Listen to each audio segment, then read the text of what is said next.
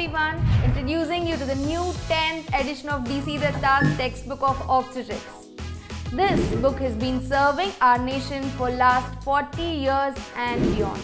So let me tell you a few highlight points of this book. Firstly, the CBME curriculum. It is fully updated as per the NMC guidelines to this new CBME curriculum. Secondly, the kernel series. Yes, the kernel series has few videos for your lectures, case presentation for better understanding and quick revision. Thirdly, the Beyond series. Beyond series has few scanners in the book which you can scan for extra information that you need about the topic. Fourthly, the animation videos which you can see for a better imagination and remembrance not only for doctors but also for our nursing students.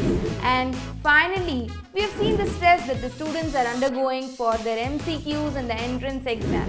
So, we have introduced bold, italics and colors. The points written in bold, italics and colors are the answers for your MCQs and Viva Voice questions. So before concluding, let me tell you, there may be many people who tell you to read different books.